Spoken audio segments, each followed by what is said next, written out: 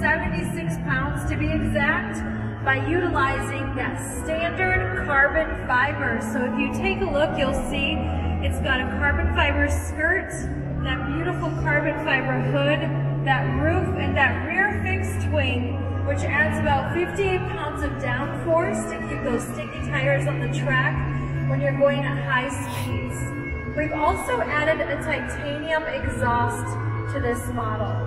So that titanium exhaust is going to be significantly lighter and it's got frosted tips adding a really beautiful hue of blue that matches that gorgeous F badging.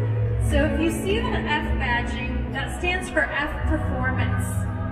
That F Performance is going to be in this beautiful model as well as a few of our other models like the GSF and we have another RCF on the floor too. This vehicle has a 5 liter V8. It is a naturally aspirated engine. We do not use superchargers or turbos in our models. And this vehicle has 0 to 60 power in 3.96 seconds. It's got launch control, so if you're ever running late, you will never be running late again.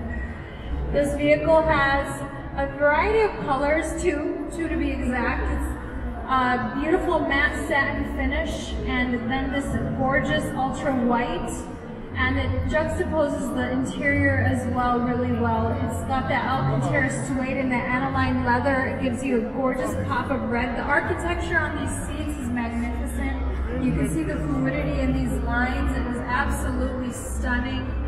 It is unmistakably Lexus as it comes down the road, although this is our track vehicle that's street legal, still has our Lexus design language. You'll notice that we implement the Lexus L's into this intricate grille. It's a series of Lexus L's intertwined. The daytime running lamps are also a beautiful Lexus L. And now that you know that, you'll notice that throughout an entire lineup, we have that beautiful Lexus design language incorporated throughout.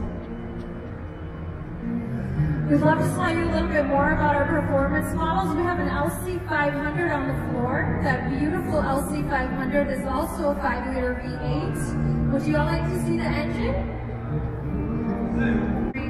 Model is absolutely stunning. As I mentioned, no supercharger or turbo. It is naturally aspirated engine, as are most of our performance models, including the LC500, the GSF, and the RCF on the floor too. If you want to get a feel for how this might be to sit inside of this one. You can sit in that gorgeous caviar RCF and let us know what y'all think. We have some new